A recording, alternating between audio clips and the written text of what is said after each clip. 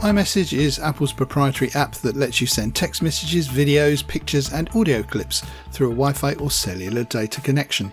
While the program is only meant to work between Apple products, there are a few ways you can get your Android or Windows devices to use iMessage as well. In this guide, we'll walk you through the few ways you can work with iMessage on your Windows and Android gadgets the different techniques to use iMessage on non-Apple devices come with varying degrees of difficulty, and just about every successful method requires that you already own an Apple device. Sorry about that. However, there are some workarounds. How to use iMessage on your Windows PC or Android device. Use AirMessage, Android only. AirMessage is a service that essentially forwards messages from your iMessage app to a browser on your Android device. You'll need a Mac computer to get this method to work. Navigate to the AirMessage website on your Mac and download the server. Link in the description. Make sure that you add the app to your applications folder. Once you launch the app, you'll receive a pop-up welcome message. Click the Connect an Account Recommended button and link your Gmail account to register. During the initial launch of the app, you'll be prompted to allow AirMessage to send and read your messages. Make sure you give the app permission. Your Mac computer should be functional at all times in order to utilize the service, so you'll want to shut off sleep mode to stop the device from becoming unavailable. You can do this by going to Energy Saver menu from System Preferences, then moving the Computer Sleep slider to Never.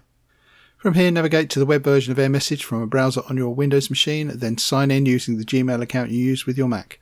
For Android, download the AirMessage app from the Google Play Store, which works similarly to the web version. Use Chrome Remote Desktop. Similar to AirMessage, you'll also need a Mac to get the Chrome Remote Desktop technique to work since that's the device you'll be controlling through your Windows PC or Android smartphone or tablet. Make sure the Chrome browser is installed on your Mac.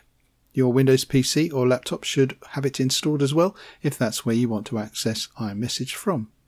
Launch Chrome and download the Chrome Remote Desktop extension by clicking on the Add to Chrome button. Link in the description. Access the extension by clicking on the puzzle icon at the top right corner of your browser and selecting Chrome Remote Desktop. To set up remote access, click the Download button. The Chrome Remote Desktop will start the installation process. Do not close the window, wait for the host installer to open. A new window will pop up showing the steps you need to take to install Chrome Remote Desktop. Click Continue. Select the disk where you want the software to be installed, then click Continue. You'll be asked to enter a device name. Click in the name and click Next. Choose a pin you'd like to use to connect your device remotely. The pin needs to have at least six numbers and then click Start.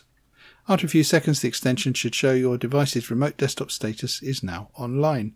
Launch Chrome on Windows and open the Chrome Remote Desktop extension. The session will start connecting on Windows. Meanwhile, a new window will pop up on your Mac. Click Share to allow your Windows device to see and control your device.